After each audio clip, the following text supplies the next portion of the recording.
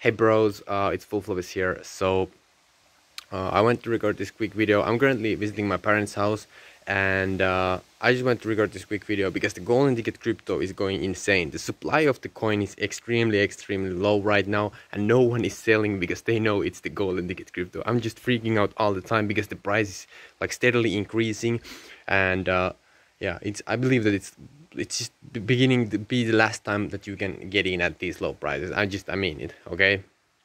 I have people in the golden tickets crypto basically who signed up like a week ago and they are they have made crazy much.